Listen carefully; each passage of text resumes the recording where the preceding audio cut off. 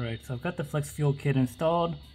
I know some guys were having issues with the bracket trying to run a catch can and the flex fuel kit at the same time.